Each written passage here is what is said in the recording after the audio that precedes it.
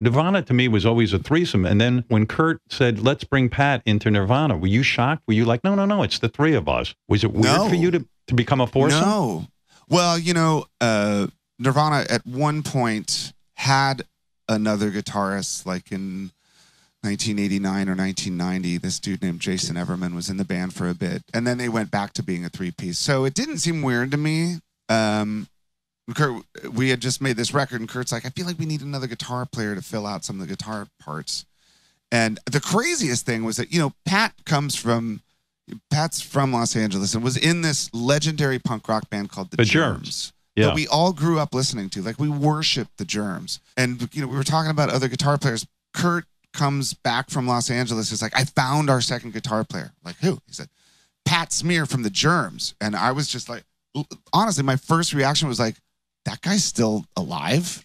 Really? like, if you only knew like what the germs did and what they were like. And then he walks in, he's Pat Smear, like, hey. And it, I mean, for the last year of the band, it was like it made the band a lot more fun to be in, having Pat in the band. Was it weird for you? I mean, to go into a band that's tied already and then have to join them like later in the game.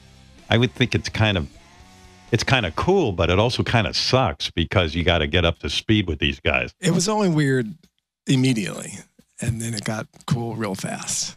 And uh, What was weird? The The I first- you over didn't- it. your first gig was SNL?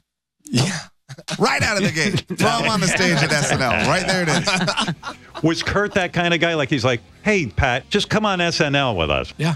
He Yeah. he just called me up and said, "You want to be in my band?" I'm like, "Okay." I met him, I don't know, once or twice. I didn't know him at all. I knew Courtney, so uh, I guess she gave me an endorsement.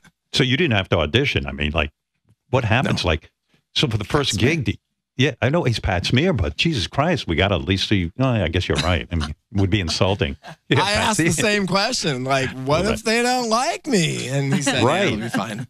I'd be all paranoid.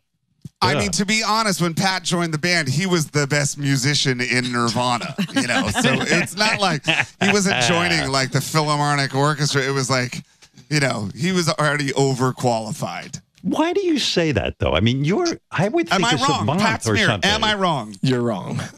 I am not wrong.